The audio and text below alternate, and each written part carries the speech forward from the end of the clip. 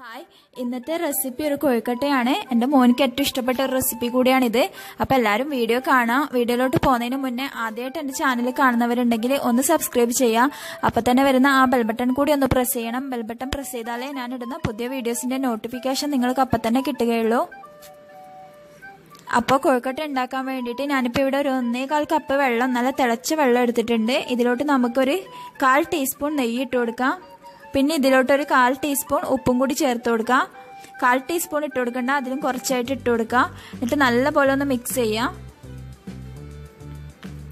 ഇനി വേറൊരു പാത്രം എടുക്കാം. അതിലോട്ട് ഞാനിപ്പോൾ ഒരു ഒരു കപ്പ് പത്തിരിപ്പൊടി ചേർത്ത് കൊടുത്തിട്ടുണ്ട്. ഞാനിപ്പോൾ ഇവിടെ നിറബറയുടെ പത്തിരിപ്പൊടിയാണ് എടുത്തിട്ടുള്ളത്. ഇതിലോട്ട് നമ്മൾ മിക്സ് ചെയ്ത് വെച്ച വെള്ളവും കൂടി ചേർത്ത് കൊടുക്കുക വെള്ളം ചേർക്കുമ്പോൾ നല്ല ചൂടുണ്ടാവണം വെള്ളത്തിന്. ഞാനിപ്പോൾ ഇത് ചൂടാറിയത് കൊണ്ട് ഒന്നുകൂടി ഗ്യാസിൽ വെച്ചിട്ട് നല്ലപോലെ തിളപ്പിച്ചെടുത്തിട്ടുണ്ട്.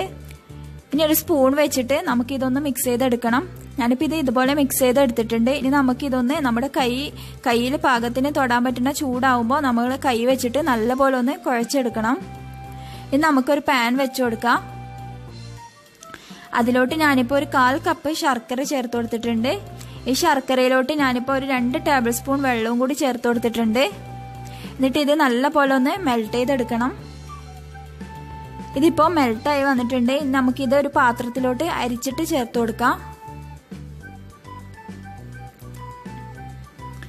ഇനി നമുക്ക് വേറൊരു പാൻ വെച്ചു കൊടുക്കാം. അതിലോട്ട് ഞാനിപ്പോൾ ഒരു അര ടീസ്പൂൺ നെയ്യും കൂടെ ചേർത്ത് കൊടുക്കുന്നുണ്ട്.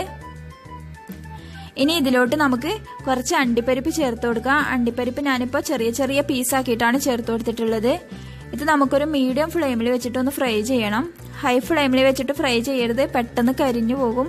നമ്മൾക്ക് കഴിക്കാൻ ഇതൊരു ടേസ്റ്റും ഉണ്ടാവില്ല. ഇതിപ്പോൾ റെഡി ആയിട്ടുണ്ട്. നമുക്കിതൊരു പ്ലേറ്റിലേക്ക് മാറ്റി കൊടുക്കാം. ഇനി അതേ എണ്ണയിലോട്ട് തന്നെ നമുക്ക് ഒരു കപ്പ് നാളികേരം കൂടി ചേർത്ത് കൊടുക്കാം. എന്നിട്ട് ഇതൊരു രണ്ട് മിനിറ്റ് വരെ ഒന്ന് വഴറ്റി കൊടുക്കാം. രണ്ടോ മൂന്നോ മിനിറ്റ് വരെ നല്ല പോലെ ഇത് കിടന്നൊന്ന് വഴറ്റി കൊടുക്കാം. ഞാനിപ്പോൾ ഇതൊരു മൂന്ന് മിനിറ്റ് നല്ലപോലെ വഴറ്റി കൊടുത്തിട്ടുണ്ട്. ഇനി ഇതിലോട്ട് നമുക്ക് ഒരു അര ടീസ്പൂൺ ഏലക്കാപ്പൊടിയും കൂടി ചേർത്ത് കൊടുക്കാം. എന്നിട്ട് ഒന്നും കൂടി നല്ലപോലെ ഒന്ന് മിക്സ് ചെയ്ത് കൊടുക്കാം. ഇനി ഇതിലോട്ട് നമുക്ക് നമ്മൾ നേരത്തെ എടുത്തു വെച്ച ശർക്കര ചേർത്ത് കൊടുക്കാം. ശർക്കര ഞാനിപ്പോൾ ഓൾറെഡി ഒരു പ്രാവശ്യം അരിച്ചതാണ്. വീണ്ടും ഞാൻ ഒരു പ്രാവശ്യം കൂടി അരിക്കുന്നുണ്ട്. എന്റെ ശർക്കരയിൽ നല്ല പൊടികളുണ്ടായിരുന്നു ശർക്കരയും കൂടി ചേർത്തിട്ട് നല്ല പോലെ ഒന്ന് മിക്സ് ചെയ്ത് കൊടുക്കാം. അതിലൊട്ടും വെള്ളം ഉണ്ടാവാൻ പാടില്ല. വെള്ളമൊക്കെ നല്ലപോലെ വറ്റിയെടുക്കണം.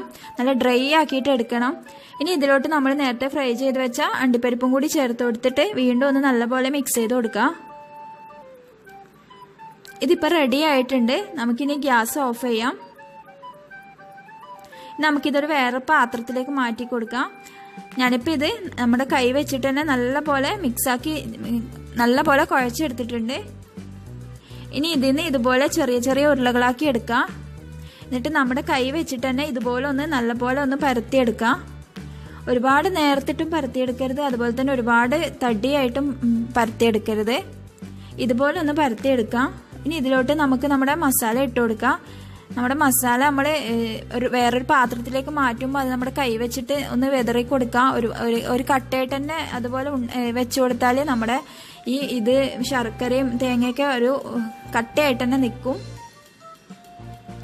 ഇനി ഇതുപോലെ നല്ല പോലെ ഒന്ന് എല്ലാ വശവും മൂടിക്കൊടുക്കാം എന്നിട്ട് നമ്മുടെ കൈ കൊണ്ട് തന്നെ ഇതുപോലെ നല്ല ബോൾസ് ആക്കി എടുക്കാം. നമ്മൾ ഈ മൂന്ന് വശവും കൂടി കൂട്ടി യോജിപ്പിച്ച ആ ഭാഗത്ത് നമ്മുടെ മാവ് കുറച്ച് കട്ടിയായിട്ട് ഇരിക്കും ആ ഭാഗത്ത് നിന്ന് ഇതുപോലെ കുറച്ച് മാവ് എടുത്ത് കളയാം. അല്ലെങ്കിൽ ആ ഭാഗം മാത്രം കുറച്ച് കട്ടിയായിട്ടിരിക്കും. ബാക്കി എല്ലാ ഭാഗവും നേർത്തിരിക്കും. നിങ്ങളുടെ അടുത്ത് ഇതുപോലത്തെ അച്ചുണ്ടെങ്കിൽ ഇതുപോലത്തെ അച്ചിൽ വെച്ചിട്ടും ചെയ്യാം. ഇതിലോട്ട് കുറച്ച് എണ്ണ തടവി കൊടുക്കുക എന്നിട്ട് ഇത് അടച്ചിട്ട് നല്ലപോലെ പ്രസ് ചെയ്ത് പിടിക്കാം എന്നിട്ട് കുറച്ച് മാവ് എടുത്തിട്ട് ഇതിലോട്ട് ഇങ്ങനെ വെച്ചു കൊടുക്കാം എന്നിട്ട് എല്ലാ വശവും നല്ലപോലെ പ്രസ് ചെയ്ത് കൊടുക്കാം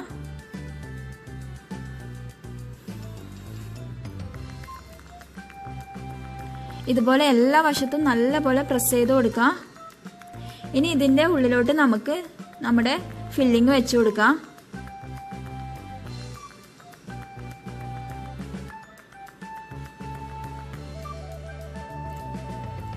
എന്നിട്ട് വീണ്ടും കുറച്ച് മാവും കൂടെ എടുത്തിട്ട് ഇതിന്റെ മുകളിലോട്ട് വെച്ചു കൊടുക്കുക എന്നിട്ട് നല്ലപോലെ പ്രസ് ചെയ്തിട്ട് ഇതൊന്ന് മൂടി നമ്മുടെ കൈ വെച്ചിട്ട് നല്ലപോലെ പ്രസ് ചെയ്ത് കൊടുക്കണം. അല്ലെങ്കിൽ ഇത് നമ്മൾ വേവിക്കുന്ന സമയത്ത് ഇത് പൊട്ടിപ്പോവും. ഇതുപോലെ നമ്മുടെ കൈ വെച്ചിട്ട് നല്ലപോലെ പ്രസ് ചെയ്ത് കൊടുക്കാം.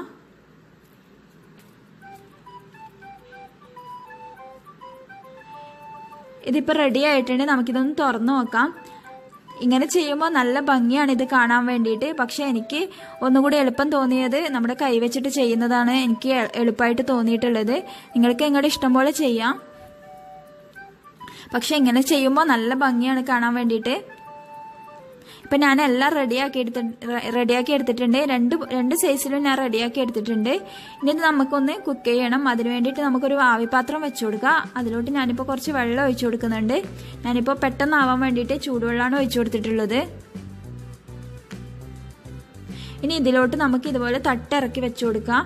എന്നിട്ട് ഇതിലോട്ട് നമ്മൾ റെഡിയാക്കി വെച്ച കോഴിക്കട്ട വെച്ച് കൊടുക്കുക ഞാനിപ്പോൾ വെക്കുന്നതിന് മുന്നേ ഈ തട്ടിലോട്ട് കുറച്ച് നെയ്യ് പുരട്ടി കൊടുത്തിട്ടുണ്ടായിരുന്നു.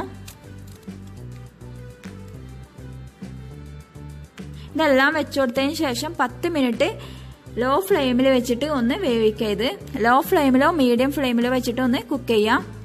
ഞാനിപ്പോൾ ഇതൊരു പത്ത് മിനിറ്റ് തന്നെ വെച്ചിട്ടുണ്ട്. ഇതിപ്പോൾ നല്ല പോലെ കുക്കായിട്ടുണ്ട് അപ്പോൾ ഇതെല്ലാവരും ട്രൈ ചെയ്ത് നോക്കാം. നല്ല ടേസ്റ്റി ആയിട്ടുള്ള റെസിപ്പിയാണ് വീഡിയോ ഇഷ്ടമായിട്ടുണ്ടെങ്കിൽ ഷെയർ ചെയ്യാനും ലൈക്ക് ചെയ്യാനും സബ്സ്ക്രൈബ് ചെയ്യാനൊന്നും മറക്കരുത്. പുതിയൊരു വീഡിയോ ആയിട്ട് വരുന്നത് വരെ ബൈ ഫ്രം ജനുസ് കിച്ചൺ